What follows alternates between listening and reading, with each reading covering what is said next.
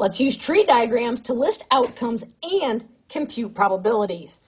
I love tree diagrams because they are visual representations to help determine outcomes of an experiment. And I am a visual representation kind of person. I like to be able to see things. It really helps me understand. So that's great, but sometimes they can be a little overwhelming. So let's go ahead and do this. Let's make a sandwich. I love me a good sandwich. So you can choose one from each category, and there are four categories.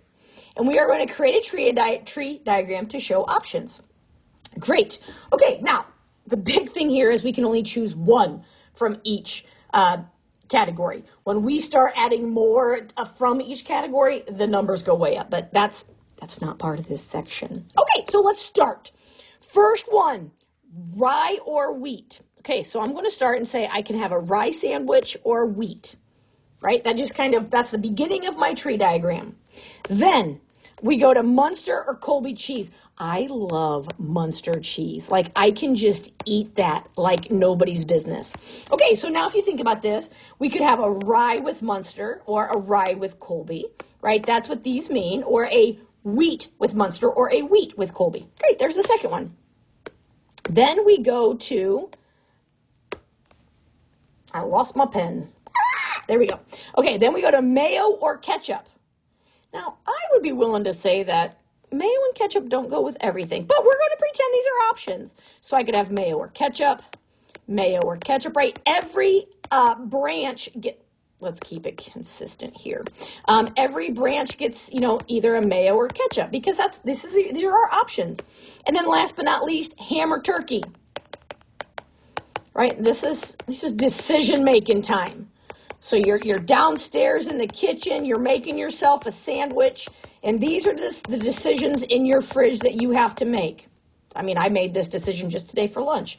So now we look at this. These are the options. And if you look at how many things you have on the bottom, the last row of the tree diagram, that is the total number of options. And there are 16. So we have 16 distinct options of sandwiches. Now we can use this tree diagram to answer a probability question.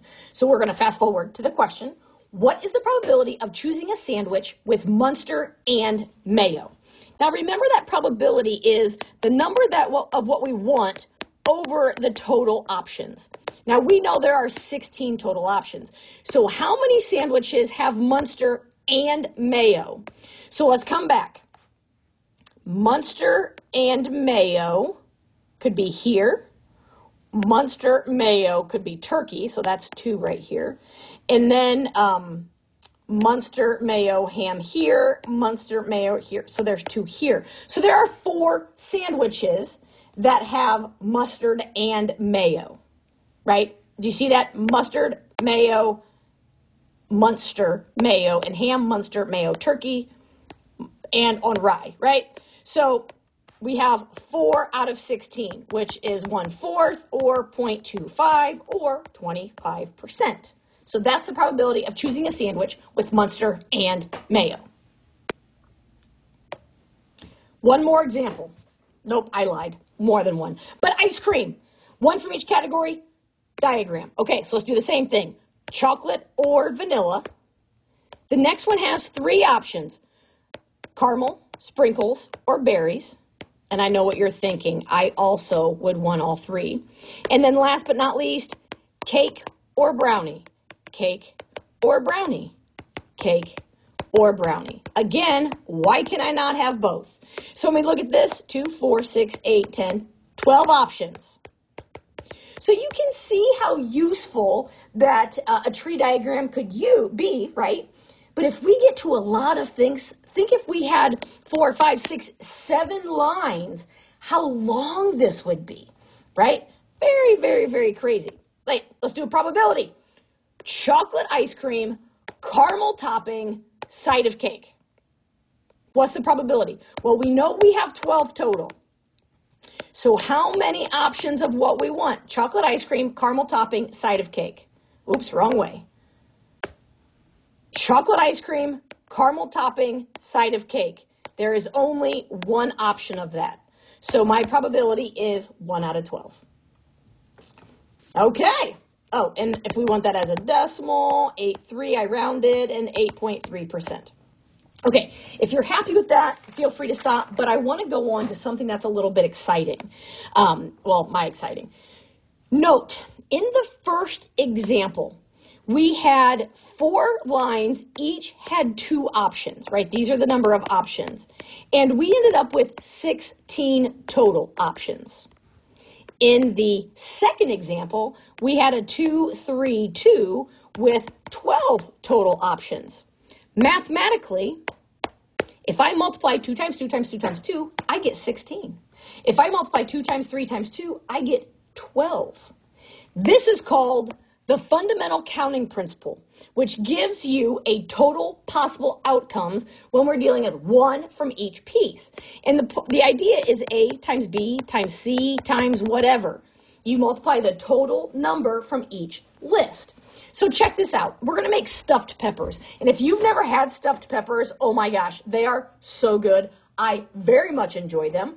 Um, and I'm really thinking about trying some of these different combinations here. So we're going to choose one from each category. Again, we probably could choose more than one to be realistic, but it is what it is. So how many different possible stuffed peppers are there? So first you got to choose your pepper. What color? Well, that's four options. And then what are you stuffing inside? Rice, beef, or turkey? Well, that's three options. What kind of cheese are you putting on top? We have two options. And then how are you topping this thing? Ranch, hot sauce, salsa, sour cream? All four? okay, so if I take four times three times two times four, that's 96. So we would have 96 options of different stuffed peppers just using one from each of these categories.